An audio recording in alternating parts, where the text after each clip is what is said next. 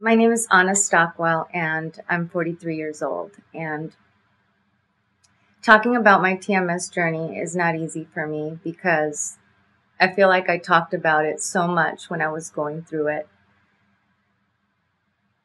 I talked about it with everyone who would listen because I would always be looking for new information.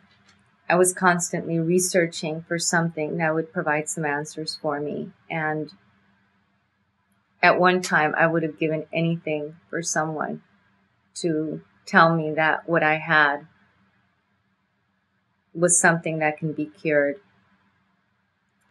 So I'm sharing my experience because I want to give people hope.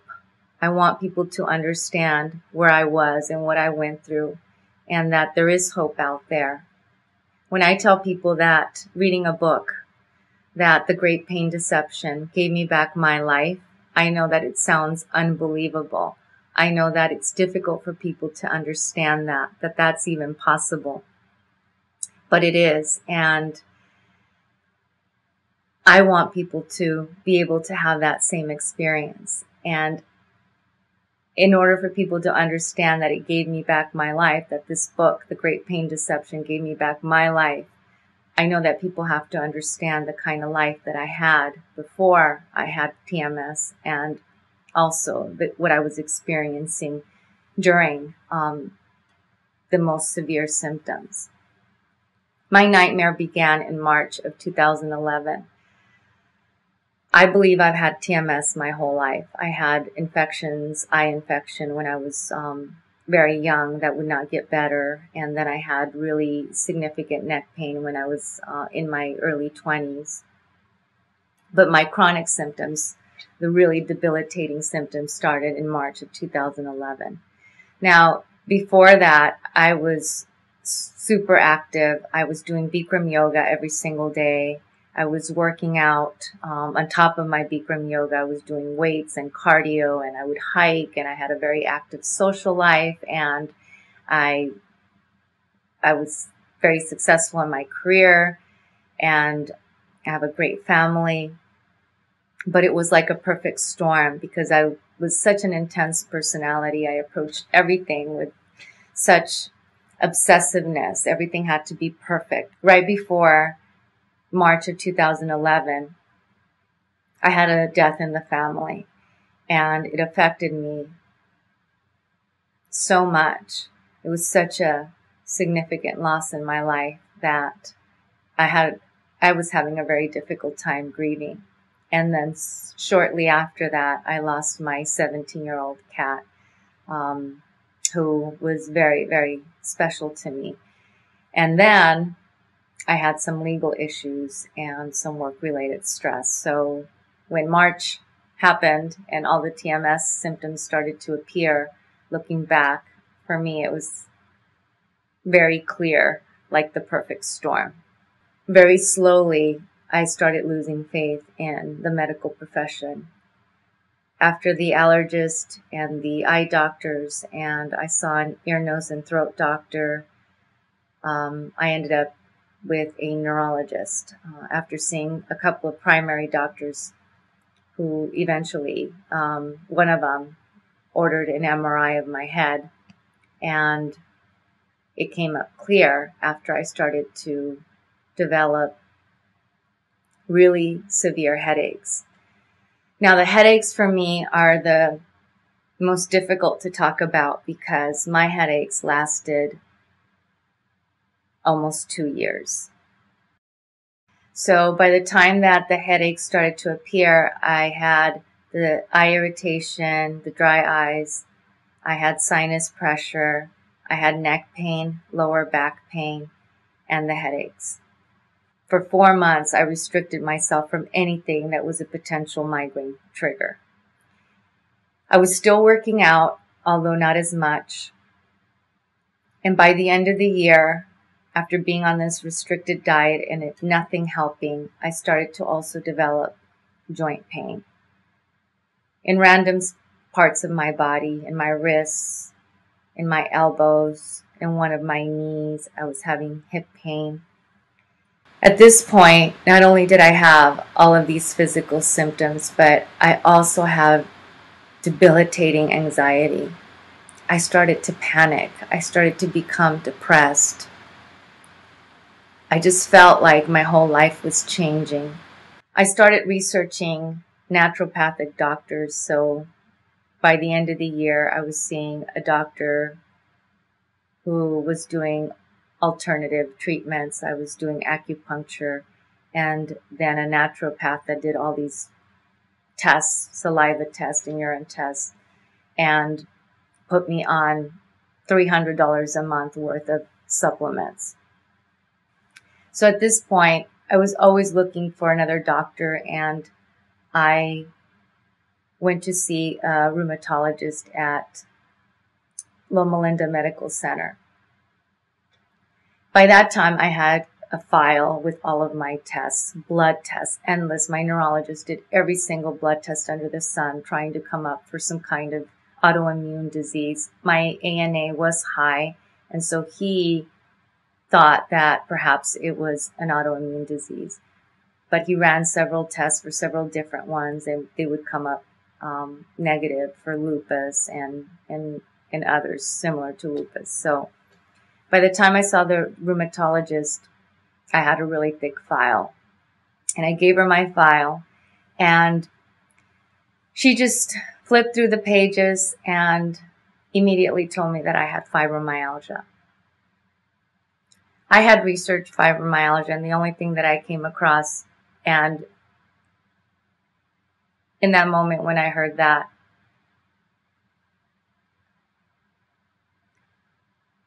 I, everything that I came across was that there was no cure for that. So when she told me that, I just, I didn't want to believe that. I didn't want to believe that I had fibromyalgia.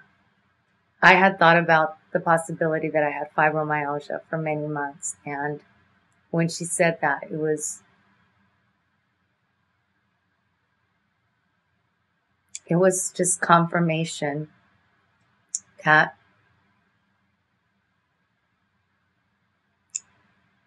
that my worst that were my worst fear would come true that what I was experiencing was something that I was going to experience for the rest of my life. By that time, I was pretty much dead. I couldn't go to another doctor. I had given up faith in the medical profession. I had seen 26 doctors by that time rheumatologists, neurologists, internists, dermatologists, eye doctors. I had seen so many of them that I just could not do that to myself anymore. The minute that they said that I had, I didn't have vasculitis, I remember walking out of UCLA and I just made the decision right there and then that I was going to figure this out on my own. It's unbelievable to me to think that in all of my research, I didn't come across anything regarding TMS. It's just unbelievable. I feel like for me, when I started finally learning about it, it was meant to be. And my husband was the one that heard about it and immediately called me at work. I had already been doing the Chinese medicine for a few months and I was giving up hope and I was still not getting better. And when he called me up and told me about it, immediately I got on the computer like I did all the other times. And when I started learning about TMS, it was the only thing that made sense. There were so many times when I would sit in my doctor's office and tell him about my pain. And I know it sounded like I was going crazy. I know that when I would tell him about how my headaches moved, how the pain sometimes was the back of my head and sometimes it was in my front of the front of my head and that sometimes was in one side. When I would tell him that I would have a new symptom, I know it sounded crazy to him. I know what I sounded like.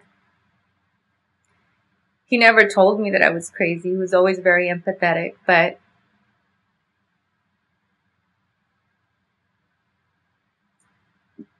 TMS was the only thing that made sense. That was it. That was the answer to everything that I was wondering about. And so immediately I started to feel better as I started to research and learn about it. But I wasn't getting better after a couple of months. I knew that it was TMS. But when I came across the Great Pain Deception, that's when my whole world changed.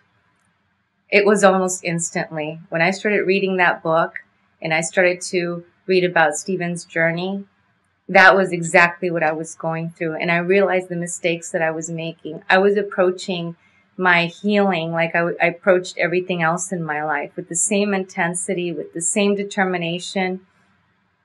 I wanted to get better fast. And I was counting the days and, and I was, I was beating myself up if I didn't feel any better. And when I read his book, that's when I started to understand all the things that I was doing wrong. And, and it just all clicked.